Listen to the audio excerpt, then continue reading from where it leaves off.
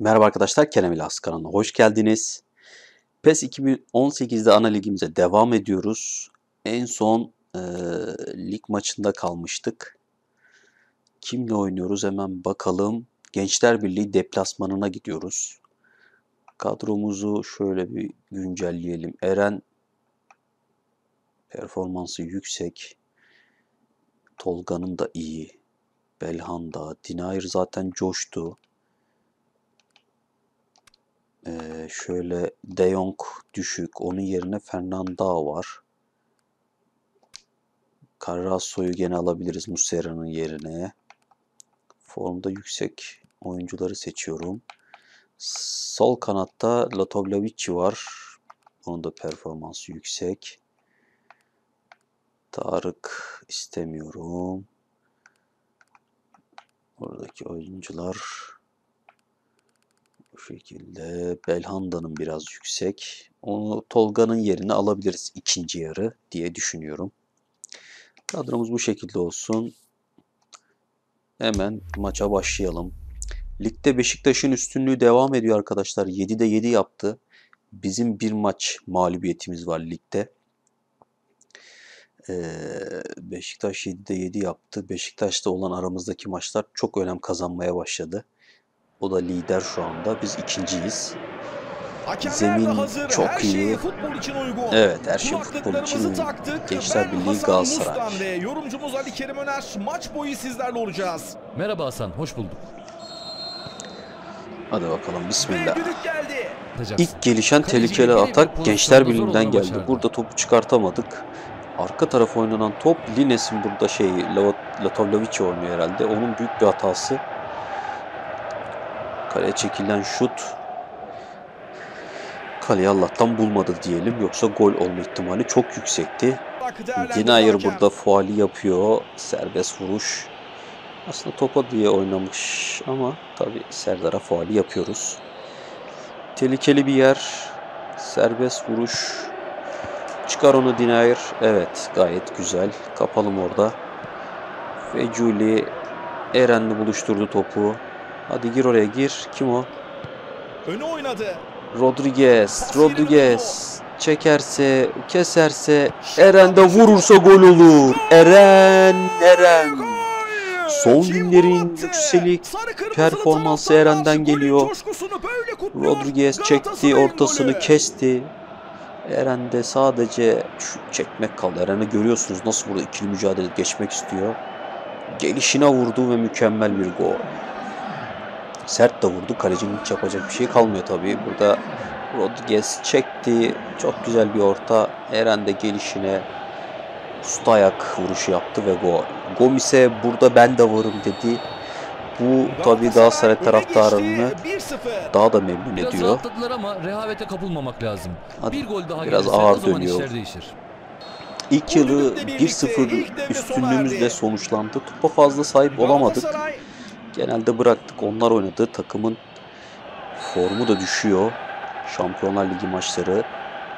Galatasaray Da bir golle önde ki. sürdürüyor mücadeleyi. Bakalım ikinci 45 Eren, Eren mükemmel olacak? kesti. Aa, Rodriguez arkaya yollayamadı. Bir daha deniyor. Selçuk İnan, uzaktan olmadı.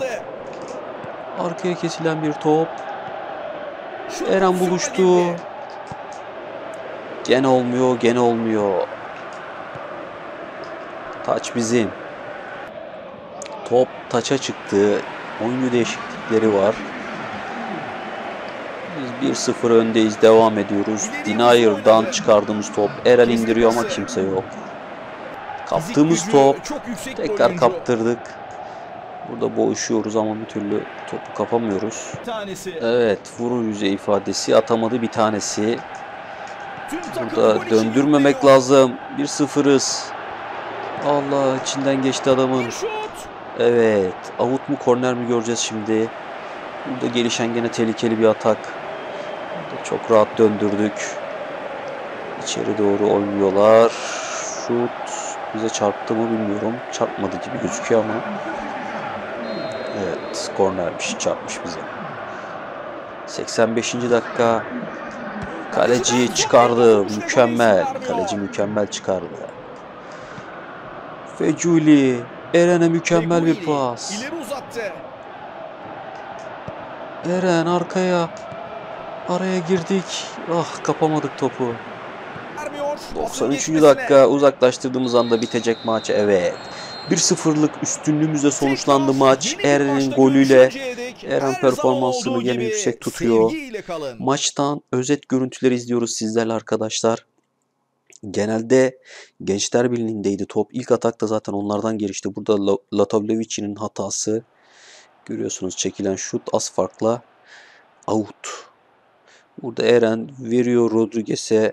İçeri doğru koşturuyor, koşturuyor ve golünü yazacak şimdi. Gelen topa da mükemmel vurdu ve 1-0 maçtaki tek gol bu arkadaşlar.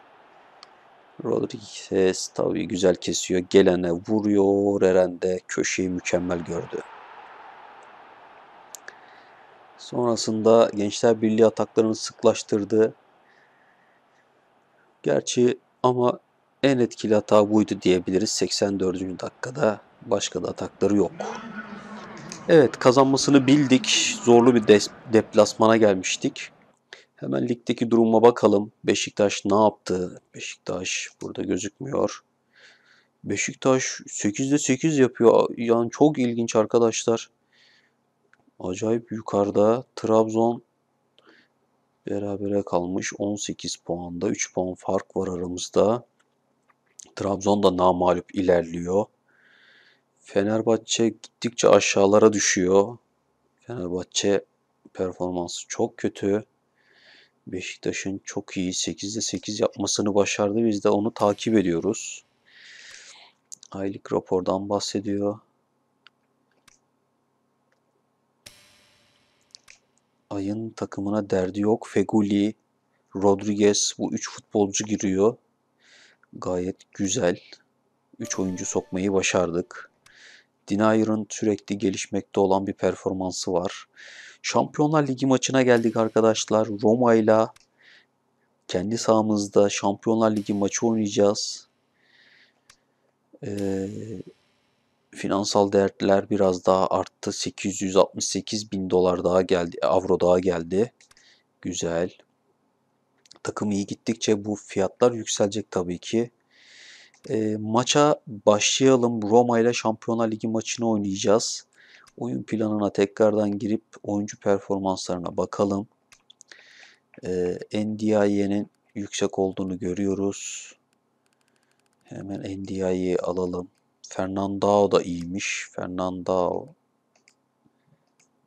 Fernandao. Selçuk orada kalsın bence. NDI'yi sonra alırız. Ee, Tolga'nın yerine Belhanda'yı alalım. Belhanda sağ kanatımız sıkıntılı. Sağ kanatta eee kimi Lines var. Lines'i oynatalım bence. Evet orada iyi oynuyor Lines. Ndiaye'nin, Carlos'un, Hakan Balta'nın performansları yüksek. Rodriguez yüksek diye onu bırakıyorum. Gomis'i alalım bu maç. Eren tecrübesiz biraz daha. Niye alamıyoruz? Eren bir türlü değişmiyor. Allah Allah. Heh, şimdi doğru olmuş zaten en üste gelmiş. Gomis'i orada oynatalım. Eren yedekte kalsın. Walcott'umuz var. Walcott'u ikinci yarı Rodriguez'in durumuna göre değerlendiririz. Maça bu şekilde başlayalım arkadaşlar. Roma zaten güçlü bir rakip. Bakalım ilk maçı kazanmıştık deplasmanda 2-1 ile. Diğer videomda görebilirsiniz onu bir önceki videomda. Bu bu lig şey Şampiyonlar Ligi maçında da inşallah kazanırız. Kafada kim var? Biz varız. Arkamızdan hemen Roma geliyor. Her şey futbol için uygun. Yenemesek de berabere kalmamız çok önemli bu maçta arkadaşlar. Belhanda atacak pas atacak kimse yok mu dedi. Belhanda attı ama Feguli nereye attı? Çok kötü ya. Orada Asamoah'yı düşündük ama.